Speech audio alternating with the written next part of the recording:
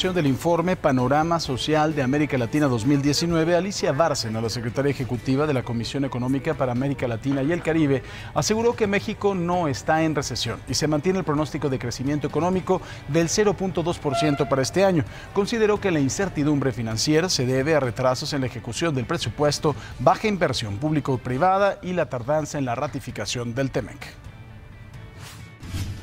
Nosotros no creemos que México esté en recesión. Ya dijimos, nuestra proyección es de 0,2%.